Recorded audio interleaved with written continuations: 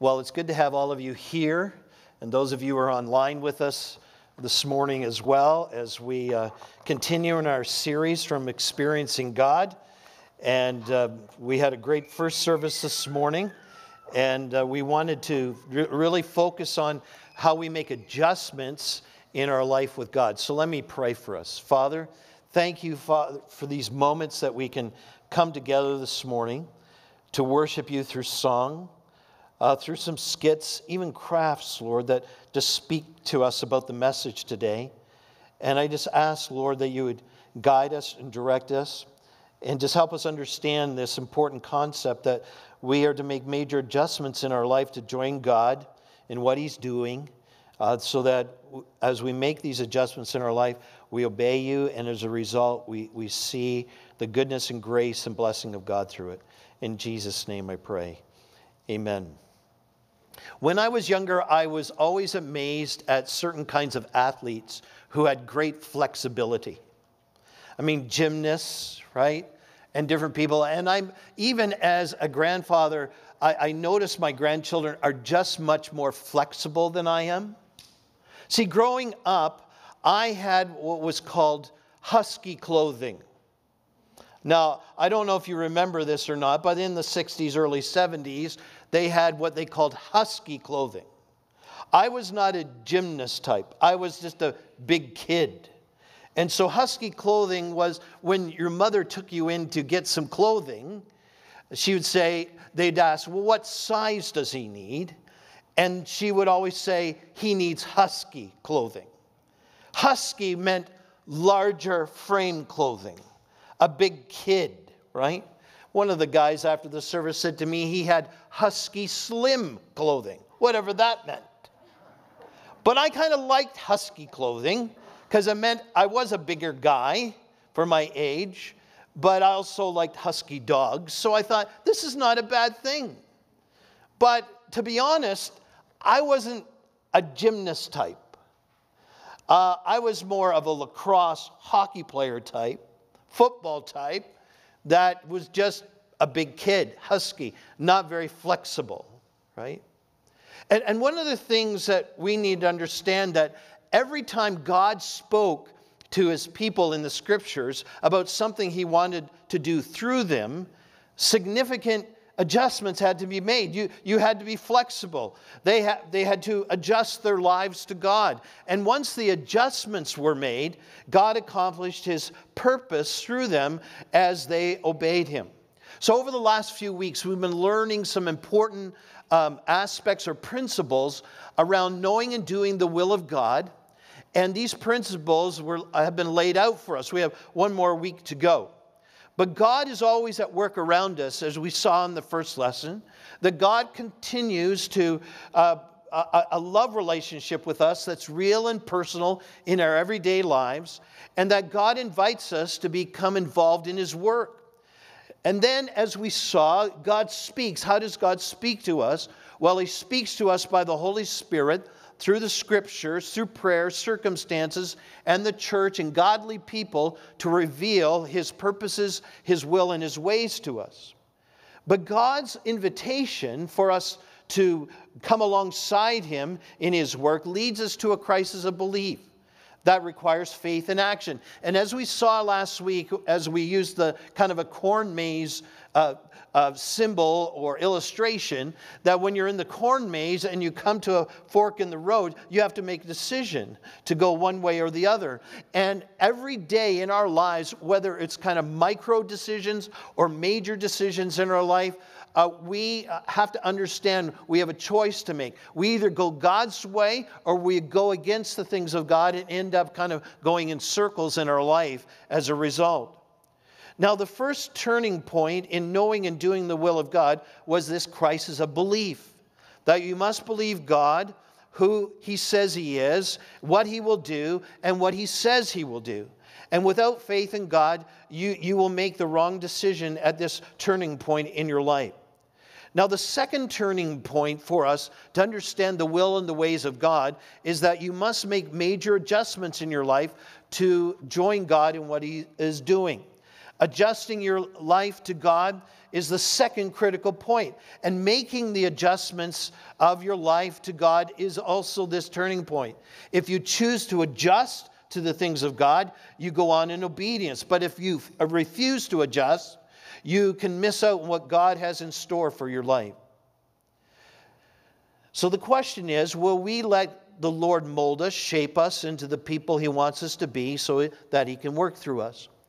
Now, Jesus in Luke chapter 9, if you turn there, this is the key verse that we're looking at this morning, or a couple of verses, for us to understand how important it is for us to adjust our life to God. Now, you can go online right now and get the notes for this service. They're extensive there, they're shorter here in the moments I have this morning. But um, all the scriptures and the outline is there for you. And, uh, and you can follow along there or take notes this morning or use those notes this afternoon to review what you've been learning. So Jesus says this in verse 23 of Luke 9. He says, um, Whoever wants to be my disciple must deny themselves and take up their cross daily and follow me. For whoever wants to save their life will lose it, but whoever loses their life for me will save it. What good is it for someone to gain the whole world and yet lose or forfeit their very self or soul? Whoever is ashamed of me and my words, the Son of Man will be ashamed of them when he comes in his glory and in the glory of the Father and of the holy angels.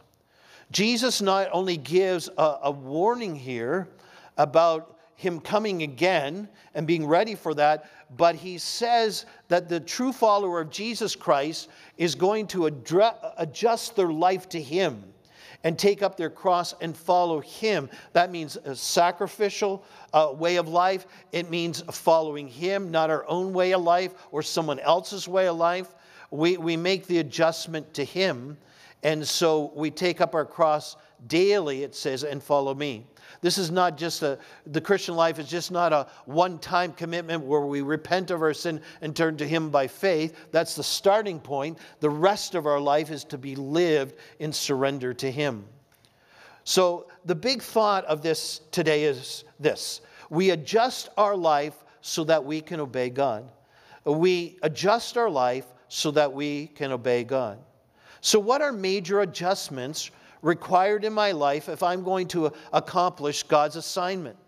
What happens, though, when I make such adjustments? And what should I expect from God when I pray for something according to his purposes? Adjustments prepare you for obedience to God. You cannot continue life as usual or stay where you are and go with God at the same time. This is true throughout Scripture. Noah could not continue his life as usual and build an ark at the same time. Genesis 6, he had to adjust his life. In fact, his whole family had to adjust their life to God's plan. Abraham could not stay in Ur or Haran, where he ended up for a while. His father took them to that particular city. And then Abraham went in obedience to God and began the nation of Israel in Canaan. He had to make incredible adjustments in his life. David had to leave uh, his sheep to become king, 1 Samuel 16. Peter, Andrew, James, and John had to leave their fishing businesses to, to follow Jesus, Matthew 9 9. And then Saul, who became Paul because of his encounter with the living and risen Lord Jesus Christ, had to completely change the direction in his life, theologically, religiously, all of those things, so that he would follow the Lord. But there's a story that still gets me to this day. I've heard it many times, I've read it many times, and it's the rich young ruler, and he refused to adjust to the things of God. He was rich, he was young, he was a ruler. If he had followers, he had a million followers on TikTok or Instagram or Facebook because he, he had that popularity, right? Uh, he was kind of the it guy at the time. But Jesus and him have an encounter. And he basically says to Jesus, you know, basically, I, have I've followed every, every good thing. I, I followed the Ten Commandments. I've kept them since I was a boy. He's bragging with pride on what he was. And then Jesus says to him, Well, if you're going to follow me, you need to sell everything and come and follow me. The rich young ruler refused to make the necessary adjustment and missed out on experiencing eternal life. He he basically turned away from Christ as a result. And Jesus says you cannot love God and love money at the same time. Or you, you can maybe insert your own thing there. You can't love this and God at the same time, or that and, and love God at the same time. But so many people today, face the same struggles. Unfortunately, prosperity and the love of things, of, of, the love of something else of this world may tempt them to refuse to adjust their life to God. When we look at the rich young ruler, we see one who did not want to adjust his life and follow Christ. But then there are some great examples of people who do. Elisha is one of them who made the major adjustments in 1 Kings 19. Now, God told Elijah, the prophet, to select Elisha as his replacement, okay? So I always got them mixed up, okay? Because their names are so close, right? So Elijah comes first. He's a prophet of God. He's following the ways of God, but he's getting older, right? He's kind of like the old pastor. It's time for him to go, right? And he's got to find a new prophet and God calls him to go and find Elisha. Now, Elisha was in the field plowing, right, with 12 yoke of oxen. Can you imagine that? It's like plowing today or harvesting today with 12 combines in the field. That's what the picture is here. And he was successful in what he did. And he chooses to leave his family and his career He's like, he is single, that's very clear from Scripture, to follow God's direction. And you've heard the, the saying, like, burn your bridges behind you. Well, the amazing thing about Elisha is that he burned all his farm equipment and had a barbecue with the 24 oxen and fed all of his family and his community, and he left with Elijah. Sometimes you have to leave the good things to experience the best things that God has for you. So, what type of adjustments did people in the Bible make to follow the Lord? Did Jesus have to make adjustments in his life to follow the will of his Father? Yeah, he did.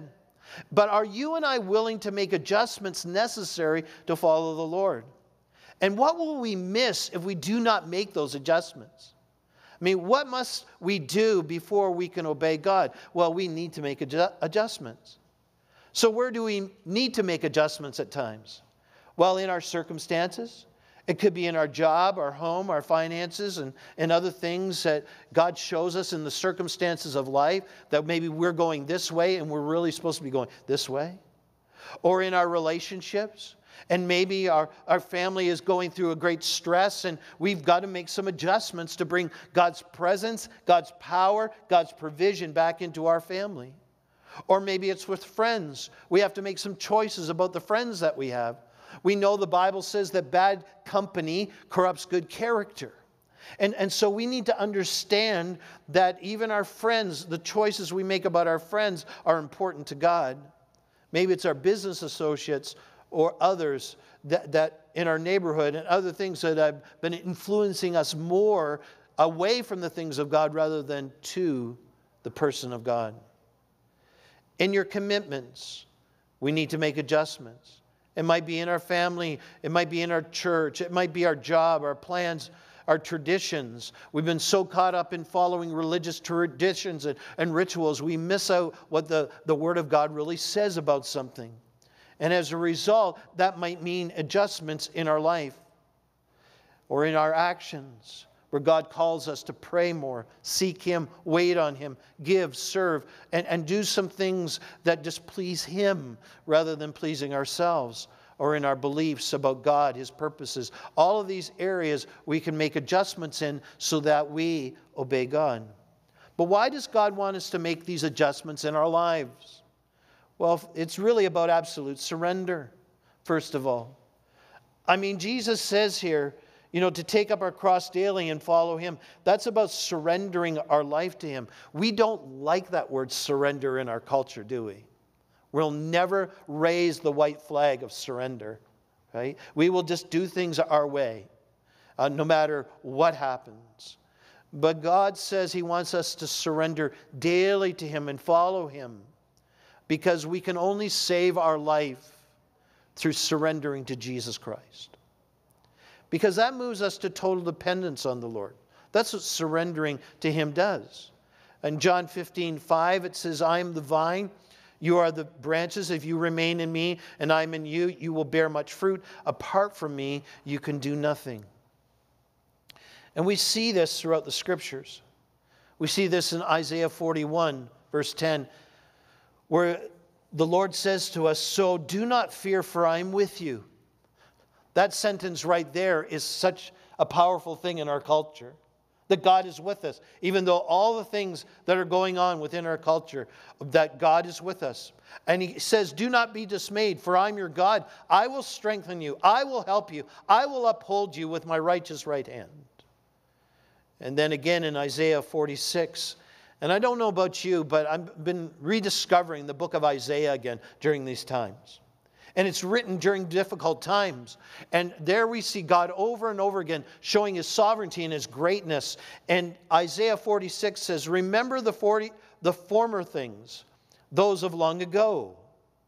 See, God's path, God's truth, is, is still the same today as it was a thousand years ago.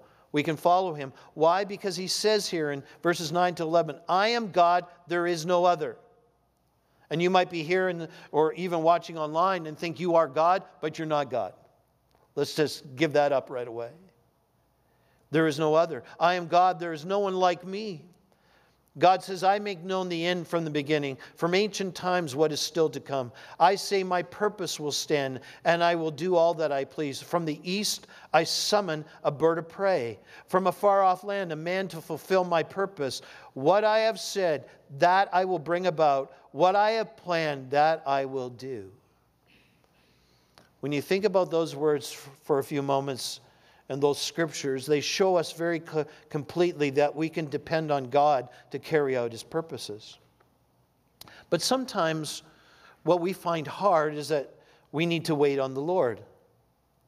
And too often, the enemy or the devil himself has uh, his choice for us, and it's usually the first thing that comes along our way. Isn't it always true? And where we have to wait on him. And, and that's hard for us. But the psalmist writes in Psalm 33 20, We wait in hope for the Lord. He is our help and our shield. Psalm 37 34 says, Hope in the Lord and keep his way. He will exalt you to inherit the land. When the wicked are destroyed, you will see it. See, when you and I are making adjustments, the Lord will require us at times just to wait on him. This is not because God cannot keep up with you or that he doesn't know what to do next. On the contrary, waiting develops your dependence on him to experience his best for your life. Isaiah 40, 31 says, But those who hope or wait patiently in the Lord will renew their strength. They will soar on wings like eagles. They will run and not grow weary. They will walk and not be faint. And you notice where you get the strength to deal with the things you're going through in your life? It's hoping in God, waiting patiently in Him. He's the one who strengthens us. And you may think that waiting on God, you have to be passive or it's an inactive time of some sort. But waiting on the Lord is anything but inactive. While you wait on Him, you pray. You watch the circumstances around you. You ask God to interpret them by revealing the, to you His perspective. You'll also be sharing with unbelievers. You might even say you're one of your friends, you know, I'm really waiting on the Lord with, for, for this. Would you pray with me about this just to help me to wait patiently rather than run ahead of God? And while you wait, we're just to continue doing the last things that God told us to do. And in waiting, You and I are shifting the responsibility to, to the outcome to God where it belongs then when God gives you specific guidance, He will do through you more in days and weeks that you than what you could accomplish in years of personal labor and personal direction. Waiting on Him is always worth the wait. His timing and His ways are always right. And you and I must depend on Him to, to guide us in His way and His timing to accomplish His purpose.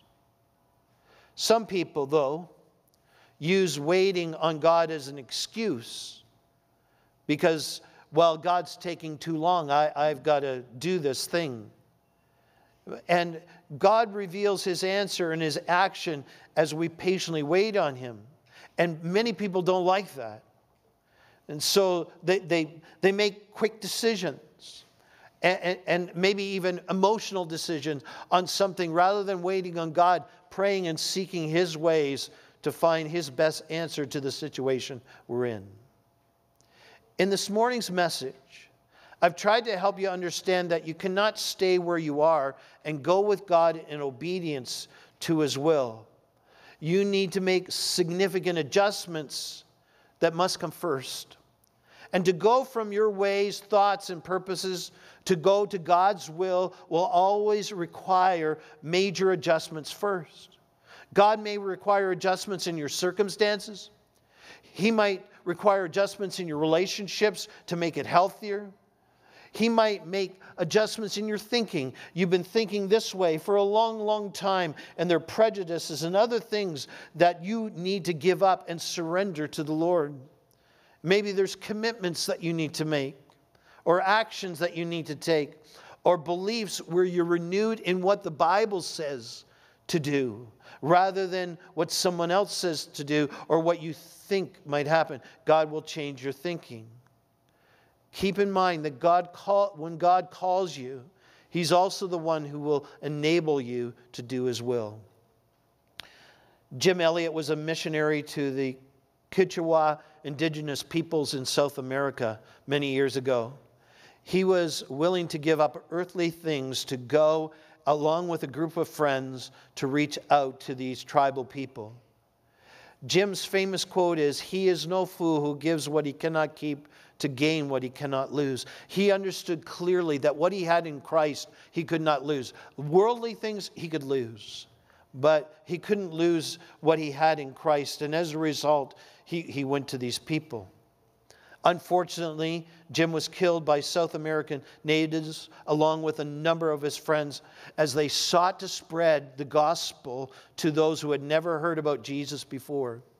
Later, his wife and others shared the gospel, even with his murderers, many who came to a saving knowledge of Jesus Christ. There was transformation that happened.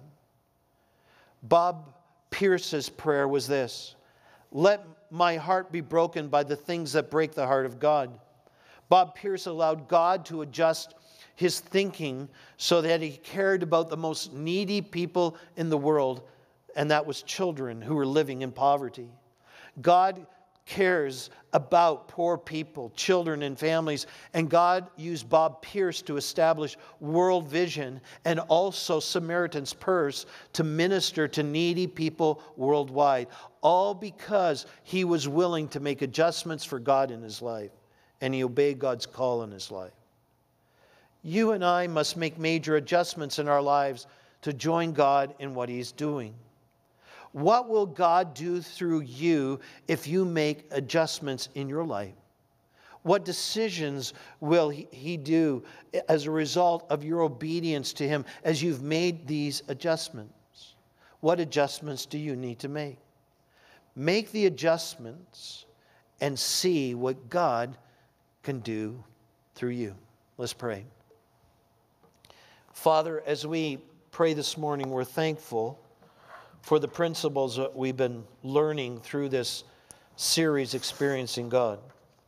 As we pray today, Father, I just ask that you would speak into our hearts and lives, realizing, Lord, to obey you means making adjustments first. And we see this throughout the scriptures. We see those two that don't want to make adjustments, they just reject you. And as a result, there's judgment, Lord, and punishment. But when we are people that follow you, you call us to make these adjustments, and we see your grace and greater blessing in our lives as we follow you. And we can make such a, an impact in our neighborhoods, our families, our workplaces as a result. I just pray, Father, that wherever we may need to make adjustments in our lives, that we would do it. And then as we come together next week and conclude this series, Lord, we realize that the next step is so important too. So I just pray, Father, that you lead and guide us. And as we sing this song of decision today, I pray, Father, that you would just work in our lives. In Jesus' name, amen.